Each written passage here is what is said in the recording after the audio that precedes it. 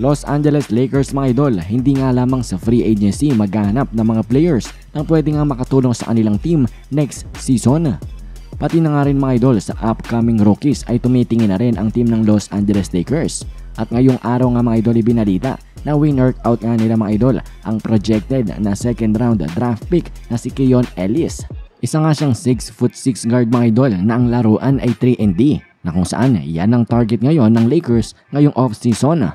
At sa interview nga mga idol after ng workout neto ni Keon Ellis sa Lakers, sinabi niya na ang favorite player niya nga daw ay itong si Lebron James. Pero ang problema nga mga idol ay wala ngang draft pick ang Lakers ngayong taong ito dahil na i-trade nga nila ito. Kaya naman ang tanging paraan mga idol na makukuha nga ng Lakers etong si Keon Ellis ay kapag naging undrafted nga siya mga idol kagaya ng ginawa ng Lakers kay Austin Reeves. Pero pwede naman sila mga idol mag-trade at kumuha nga sa ibang NBA team ng second round pick para nga masulot nila. Etong si Keon Ellis na nanalo nga ng All Defensive Team last season sa college. Pero anyways mga idol, ano bang masasabi nyo dito sa rookie prospect ng team ng Los Angeles Lakers? Maganda ba itong desisyon or hindi? Komento nyo lamang ang inyong mga opinion. At sa ating next balita naman mga idol ay pag-uusapan nga natin ang sinabi ni Jason Tatum na dahilan kung bakit niya nga nirepresent itong si Kobe Bryant sa Game 7.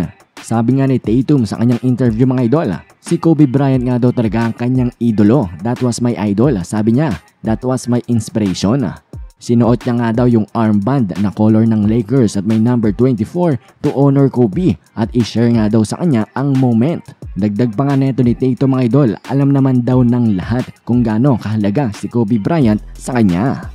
Pero anyways nga mga idol, para sa ating panghuling balita, ang team ng Golden State Warriors ay nag-umpisa na nga sa paghahanda sa parating na NBA Finals sa Tuesday.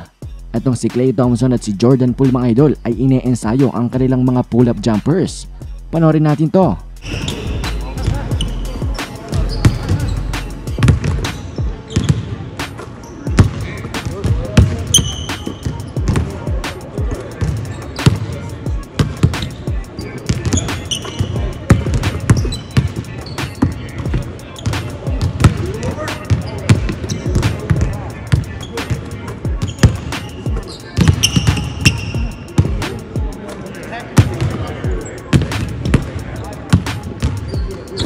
At alam nyo ba mga idol, ang coach nga ngayon ng team ng Boston Celtics ay nakalaban pa pala itong si Stephen Curry sa NBA.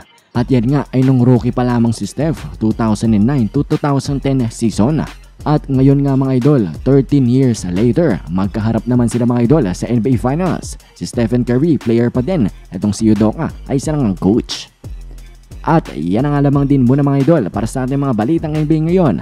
Maraming salamat sa inyong panonood. Bye!